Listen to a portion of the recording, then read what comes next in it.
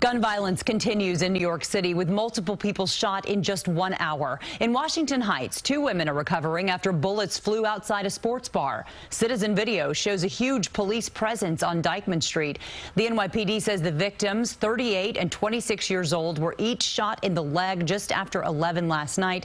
Both women are stable, no arrest yet. And a shooting in Brooklyn sends three men to a hospital. Police say the shots were fired just after midnight at Irving Square Park in Bushwick.